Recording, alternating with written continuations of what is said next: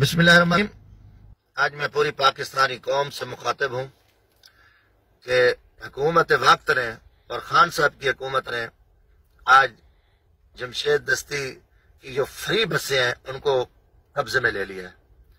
ظلم ہے اور بڑی زیادتی اور بڑا جبر ہے۔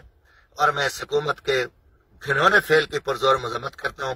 ان کو خوف ہے مزدوروں سے کیونکہ عمران خان کے ساتھ اس وقت لغاری، مزاری دریشک نواب زادہ ترین، گلانی، ڈوگر نواب، عباسی، بڑے بڑے گدی نشین، بڑے بڑے لوگ اس کی اس کی گود میں بیٹھے ہیں اور نئے پاکستان میں وہ پرانے گھوڑے، مردے چہرے انہوں آ کے جو ملک کا حال حالت کی ہے، وہ بڑی شرمناک اس وقت پاکستان کا غریب، نوجوان، کسان، مزدور، انتہائی بدحالی کا شکار ہے۔ ہر طرف جھوٹے مقدمات، ظلم اور جبر ہے۔ عمران خان، ہم تیرے ساتھ نکلے تھے ظلم کے خلاف اور ناانصافی کے خلاف۔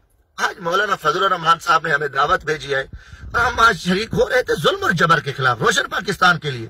تو یہی تھا کہ جمشید دستی کی جو بسیں چلتی ہیں، بھونڈی حرکت کرتے ہو۔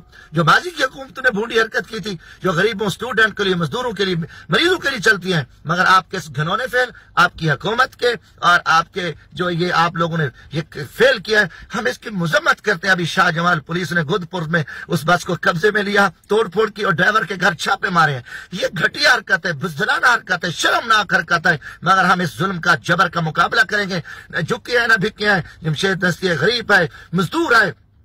ہر فرعون، ہر یزید، ہر نمرود، ہر بدماش کا ہم نے مقابلہ کیا، مگر اس وقت ملک بدحالی اور ظلم اور بربریت کا شکار ہے۔ پاکستان تباہ ہو گیا ہے۔ آپ کی تمام پالیسیاں، خارجہ پالیسی تمام ہر طرح سے دوں گا، دودھ کی نہریں چلاؤں گا، ختم ہو چکا ہے۔ مگر ہم نہیں جھکیں گے۔ یہ گھٹی حرکت ہے پوری پاکستانی قوم کو کہتا ہوں کہ آج غریبوں، فقیروں، مزدوروں کی بسیں پکڑ کر ایک گھنونی حرکت کی۔ اور میں اداروں کو کہنا چاہتا ہوں، خاص کر پولیس کو، جو ماضی میں بھی انہوں نے ظلم کیا، آپ اس کرپٹ حکومت کے نجائز احکامات نہ مانے، جھوٹے مقدمات نہ بنے، ظلم نہ کرے، یہ کل پارس نہیں بنتے، یہ حکمران۔ پھر یہ لوگ بھگتے ہیں سانیہ ماڈل ٹاؤن میں دیکھو کتنے پولیس والے بیچارے جیلوں میں پڑے ہیں ڈسمس ہو چکے ہیں۔ کل بھی یہ نہیں کریں گے، آپ غریبوں کی بسوں کو توڑو اور ان کو تھانوں میں قبضے میں لو۔ کوئی بات نہیں، انشاءاللہ اللہ ہماری حفاظت کرے گا۔ ہم اللہ، ہم پاکستانی ہیں، ہم غریب ہیں، ہم مزدور ہیں، مگر پاکستان کو بچائیں گے۔ اس کی عزت کے لیے ہم انشاءاللہ ضرور نکلیں گے۔ اللہ ہماری حفاظت کرے گا، مگر جو کچھ تو نے کرنا ہے، تیری حکومت نے تیرے کرپٹ اور بزدل وزیر اعلیٰ پنجاب نے